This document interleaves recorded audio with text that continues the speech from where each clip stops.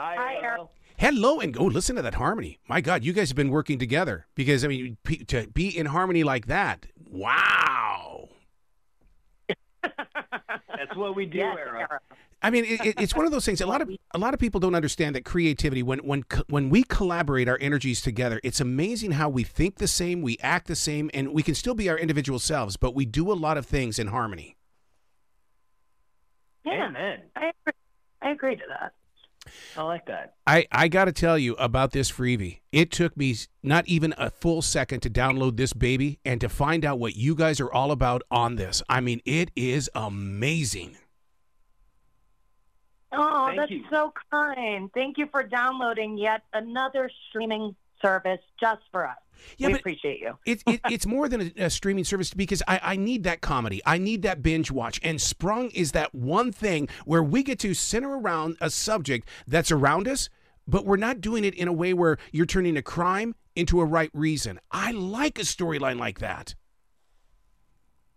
I think everyone loves a Robin Hood story. Yes.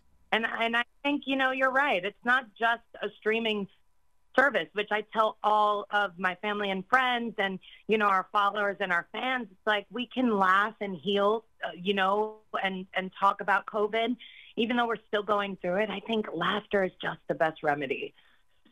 Now, Phillip, for you, what you know, the, the- a show like this changes people's lives in the way that people get out of prison every day, and if they see a story like this on Sprung, I mean, it, it, it really it's going to give them an opportunity to find hope and faith in their own personal lives. Yeah, I think that's a, a, a really beautiful part of it. I don't think Greg, uh, Greg Garcia, our writer and creator, I don't think he was thinking about it too heavy at all. I think um, he saw, you know, that this actually happened. He wanted to kind of, you know, use it as a, a, a backstory or whatever. But I've gotten a lot of people reach out and say, "Hey, thank you so much because you're shedding a light on something that's really serious and something that's, um, you know, uh, definitely an issue in the United States and beyond." But um, yeah, I think imagine this: you're in you're in prison for you have a sentence for 26 years for something that is uh, for for um, for uh, for weed for for marijuana. You know, back in That's the, basically legal. You know, it's basically legal now. now it is, which it's so silly to think about. That for 24 years for something, you know, is your Mhm. first offense, you know, type thing. So, it, it really, really, just an awful situation. Imagine being in prison and then you get out, and then it's a global pandemic. Mhm. So that that in itself, I think, is just. It, I, I think, I don't think we're really laughing at the pandemic. I think we're laughing along at ourselves at the especially at the beginning part of the pandemic, you know, and and and our lead character played by Garrett Dillahunt, um, his character's name is Jack. I think he does such a good job in balancing the the zany. He definitely has some zany moments, but it's some it's some real stuff, you know. And um, thank you for asking that question. I think that's a that's a really important um, topic you know. Um, but I, I think, I think, yeah, I think Garrett does a really good job. He gets out. He's, he's, he's, he's not, he's not really sure whether he could touch his face, and he's, you know, he's all, all this, all of us at the beginning of the pandemic. I mean, you remember that, right? Yeah, of course I do. you know, March of 2020 is is is well planted inside my soul because as as an entertainer, I lost everything. Now the question was, what can I do as an entertainer to help other entertainers refine their stage? Mm-hmm. Mm-hmm.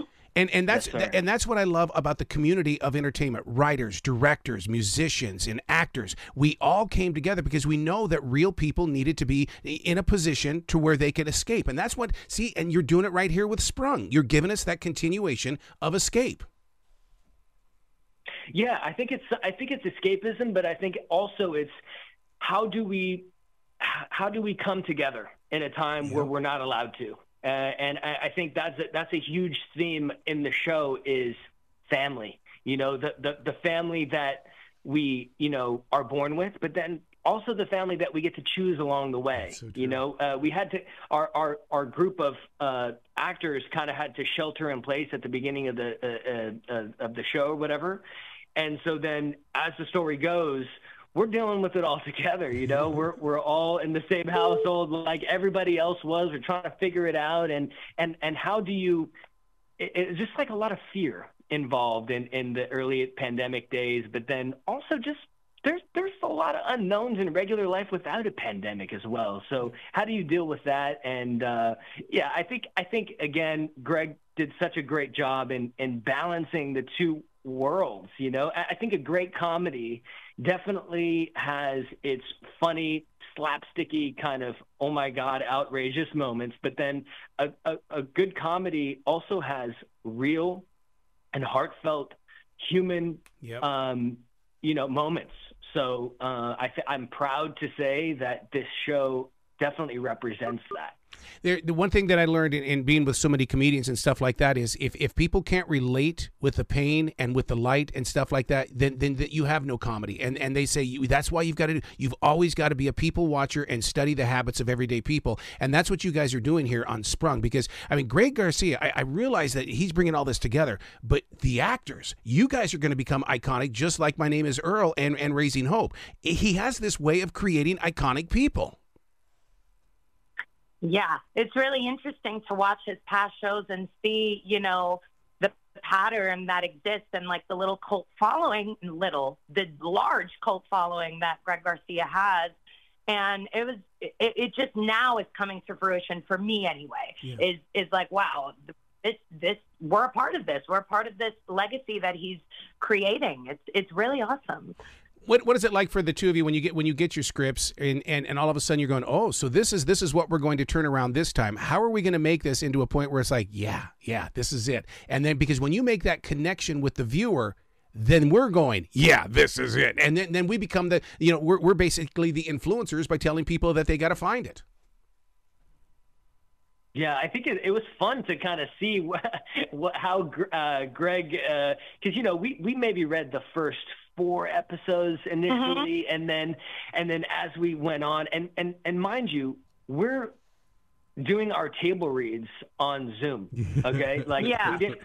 We didn't. Yeah. We didn't get to. We didn't get to be in person, right, Shaq? Like, eh, like that was kind of a, an interesting part. Very. Of, we're we're basically making a show that centers around a pandemic during a pandemic, and then yeah. we're going to shoot it. And then we're going to shoot it in 11 weeks in Pittsburgh while the pandemic is still technically going on. So it, yeah. was, def- it was definitely interesting to try and figure it out. But you see, as you go along, I think about the the third episode. I was like, wow, okay, Greg, he definitely thought about this. He's definitely has a lot of backstory for all these characters, and and but then he also allows us to to take the helm a little bit and say hey this is kind of where i want to go with my character. This is kind of where i want to go nice. with you know my character's backstory. He was he was pretty lenient. I, I, anytime you pitched an idea i was like hey yeah so this is who i would cast as my dad. And he was like cool. Uh, or like you know or like I, I would send him pictures of me and my facial hair. I'll be like dude this is how long i want my mustache. And he's like okay cool uh, you know, so it, it was it was a, definitely a collaborative process. But um, yeah, my technically my first experience being a lead in a show, and and uh, what better way to do it than in a Greg Garcia comedy? Wow. Well, I I told James and Claire this morning that you guys are headed to the Emmys, and and so and I I will say it to you guys too. I can't wait to see you guys up there accepting that trophy. Wow, Aww, Dude, thank you so much. wonderful. Well, yes, that means a lot. We just that. watched it. We just watched it last night. So that, yes, thank you so much. Manifest that for us, please. Yes, yes. Oh, absolutely. Please come back to this show anytime in the future. The door is always going to be open for the two of you. Oh, thank you so much. Be brilliant. So thank you so much. And you guys be great too, and keep it up with Sprung because this is going to be a com- the conversation piece of the fall. Thank you. I like the sound of that.